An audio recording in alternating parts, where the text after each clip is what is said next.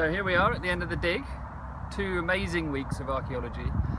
And uh, I just wanted to say a real massive thank you to to Opti-cal and the team for supplying the, uh, the survey equipment which was completely vital to what we did here. We couldn't have done any of this without them.